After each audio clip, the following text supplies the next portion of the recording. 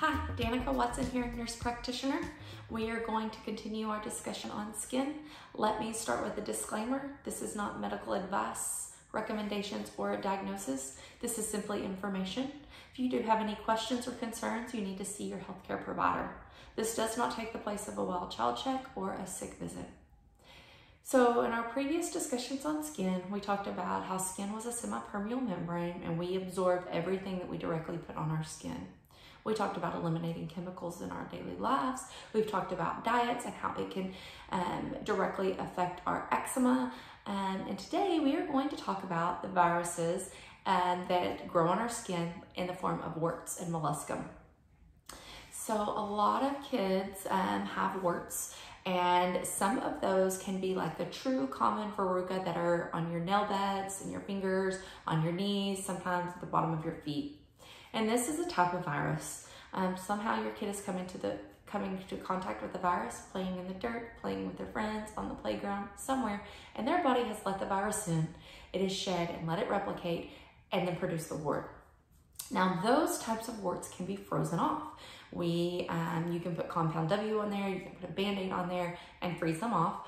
Um, a home remedy you can try is tea tree oil and oregano oil and then put like duct tape or a really, really uh, strong band-aid on it. Um, you need to be very careful if you're putting a tat bandage or a tat tape on your child's finger. Make sure they still have circulation. It's not tingly, so don't do it to your infant who, or your baby who can't really tell you how they feel, okay? Um, but those things, if you put a really tight piece of tape on it, not around it, on it, just to suffocate it with the tea tree oil and the oregano oil, that will help.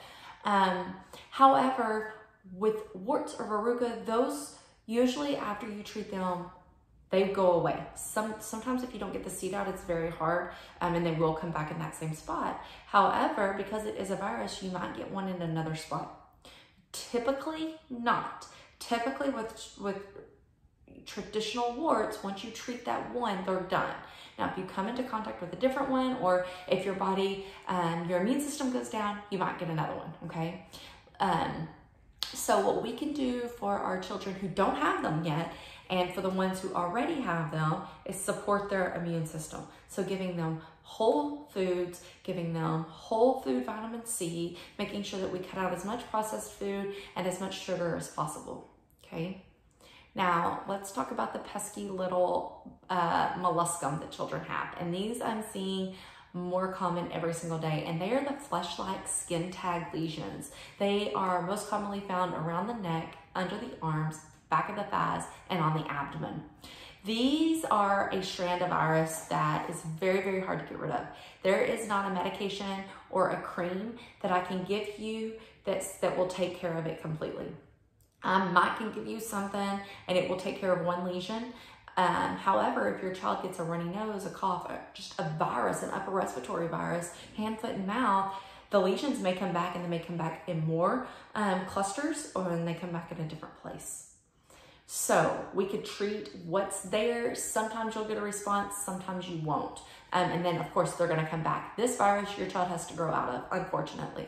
And it's very, very frustrating for the parents because when these kids get a lot of them, they don't like it. Um, and you know, especially if it's where it can be seen outside of clothing.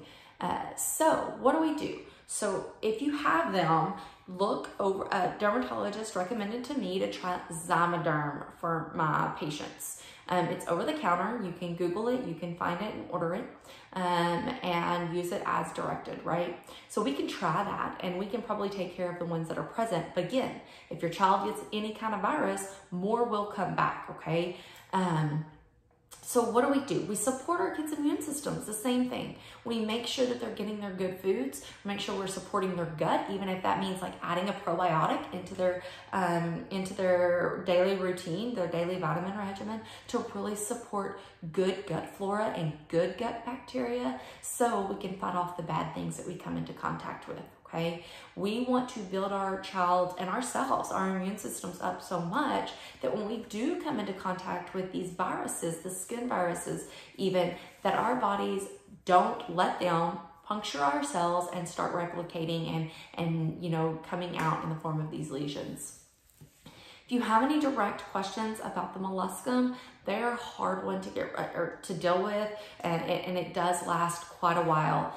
Um, I will go, I, I will tell you that I'm seeing most children get them between the age of four and eight, and then they hang on to it until puberty. And then after puberty, they start shedding the virus and um, no new lesions appear. There's been a few that that doesn't work for. However, uh, the mass majority of what I'm seeing is post-puberty and, and they resolve.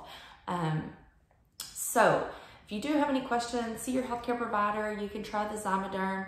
For your regular skin warts on your skin, the verruca, um, typical wart-like lesions, you can do the tea tree oil and oregano oil with a tight um, piece of tape or a tight band-aid. Um, don't do it all the way around. Don't squeeze off their circulation, right? Just put it on halfway so it just suffocates that wart there.